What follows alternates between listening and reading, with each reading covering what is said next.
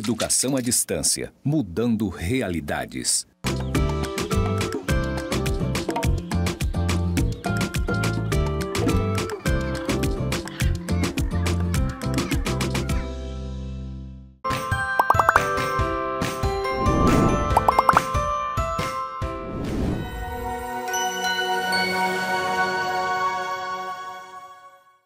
Olá, seja muito bem-vindo à nossa Rádio Genipapo, a sua voz nativa da Amazônia. Você já sabe que nesta série nós estamos tratando da pedagogia do dispositivo. O nosso convidado especial, o professor Juliano Araújo, e no programa 1 nós falamos sobre a pedagogia do dispositivo, né, a definição. E agora, nesse programa 2, nós continuamos com a participação e a contribuição do professor Juliano Araújo. Obrigada, professor, mais uma vez. E você já sabe, né? Nós temos aqui a contribuição das nossas estudantes e temos, professor, mais uma pergunta aí nessa nesse tema sobre a pedagogia do dispositivo. Vamos ouvi-la?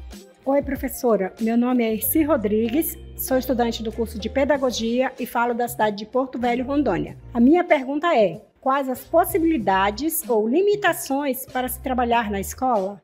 Hum, Tinete, esse assunto tá legal que só. Eu, particularmente, Ariadne, eu vejo mais as possibilidades do que propriamente limitações. Eventualmente, alguém possa pontuar como limitações, por exemplo, a falta de infraestrutura, de equipamentos. Enfim, poderia ser um ponto. Mas ainda assim, a gente poderia pensar em trabalhar com dispositivos que não necessariamente utilizem os equipamentos, certo? Mas assim, tendo à disposição equipamentos e que podem ser, enfim, profissionais, mas a gente poderia pensar no telefone celular, enfim, perfeitamente possível da gente trabalhar com os alunos, as alunas, e, e às vezes eu até acho que eles lidam melhor com essas novas tecnologias do que nós mesmos, não é? Outra geração, né? É, é, é uma geração que tem muita facilidade. Eu, particularmente, vejo mais possibilidades, não é? Por exemplo, a gente poderia pensar num, num, exercício simples a partir do dispositivo da fotografia narrada. Enfim, se nós não tivermos equipamento, a gente pode pedir para eles trazerem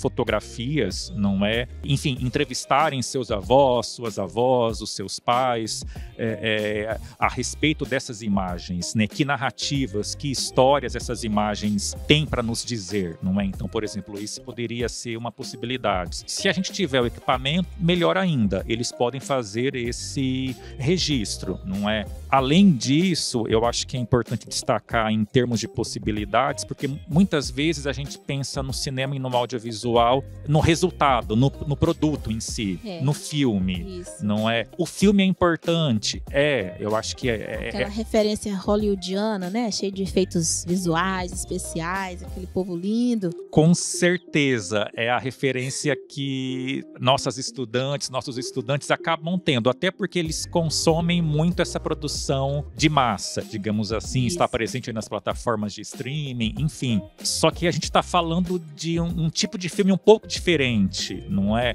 E que se aproxima mais da linguagem do cinema documentário, certo? E aí, assim, o produto é importante? É importante mas vale a pena também a gente pensar em todo esse processo de realização, não é? Por exemplo, um estudante que vai entrevistar seu avô, sua avó, seus pais, tios, tias, conhecer a sua história, por exemplo, se a gente for pensar no nosso caso aqui de Porto Velho, Rondônia, esse contexto né, de intensos fluxos migratórios que marcou aí a década de 1970, os anos 1980. Então, assim, é uma possibilidade, por exemplo, dos estudantes conhecerem essa história é, é, entrevistando, enfim, seus próprios parentes, vizinhos, vizinhas, trabalhando com imagens desse período, não é? Então, assim, utilizando ou não é, os equipamentos, não é? Então, aí eu acho que vai depender muito de cada contexto em que a docente ou docente trabalhe com, com esses elementos, não é? E, e aí o produto em si, se a gente conseguir produzir um curta-metragem, 3, 5 minutos, perfeito, maravilha, é, é muito bem-vindo. Mas eu acho que a mobilização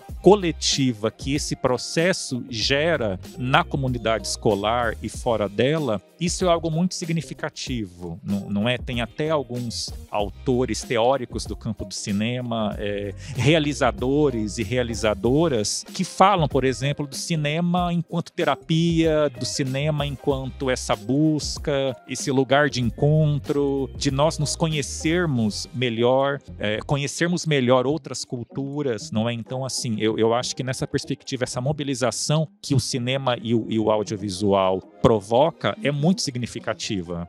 Escuta isso aí, parente. No caso, a preocupação, vamos colocar nesses termos, né? A preocupação central desse estudante e dessa estudante que vai até a escola para fazer essa experimentação do videocarta. A preocupação dele seria mais ou menos com essa realidade, né? E não, assim, pensando numa perspectiva estética, né, e ética, como é que a gente pode trabalhar isso? Por exemplo, agora nós vamos para um estágio que a gente vai trabalhar a educação infantil com crianças de 0 a 3, de 4 a 5 quais são os cuidados que a gente precisa ter, como é que isso pode ser abordado de uma forma ética estética que não invada né, o espaço do outro. Eu acho que é muito importante, assim, quando, quando a gente vai ligar a câmera, né, que essa pessoa, enfim, que vai ser filmada, que vai ser entrevistada, né, ela esteja afim de participar desse processo de realização. Então, eu acho que deixar muito claras essas intenções, não é? E aí, assim, um, um gesto que eu acho que é muito significativo, assistir outros filmes, não é? Outros exemplos, por exemplo,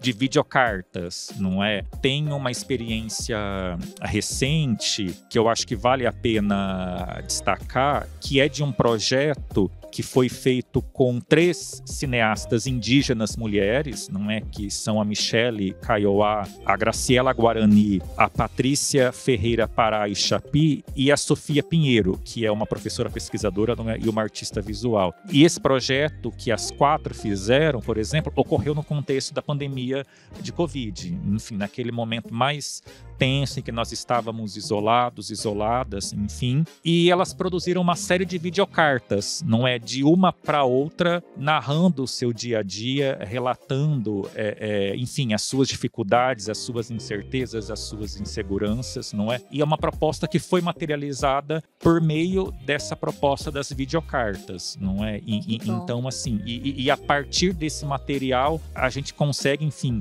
perceber, né? Essas nuances do que é mais ético e estético e do que é mais adequado ao momento, eu, eu, penso assim, né?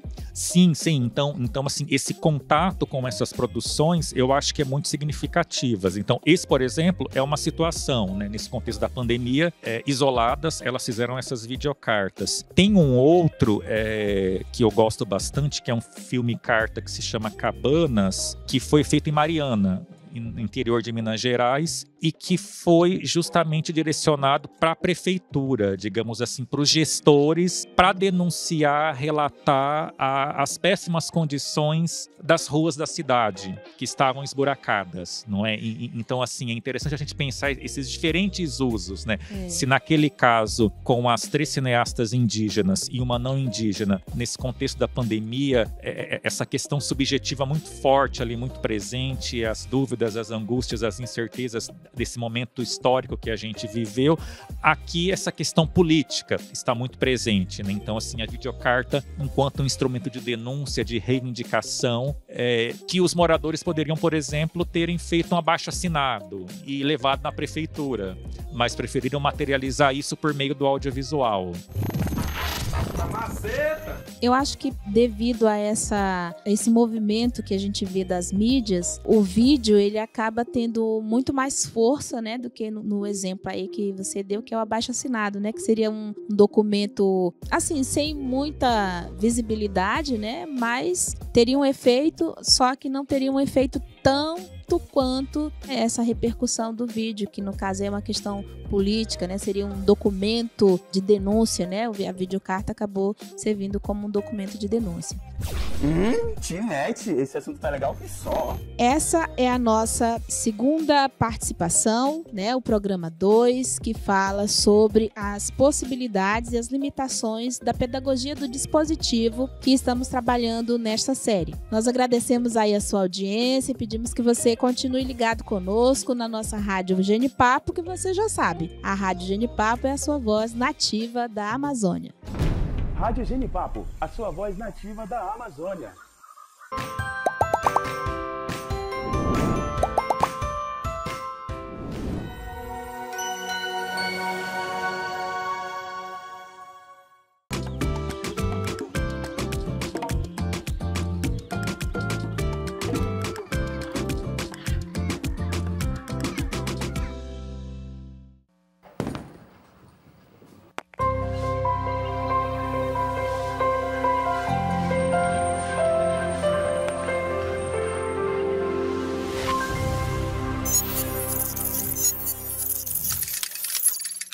Educação à distância, mudando realidades.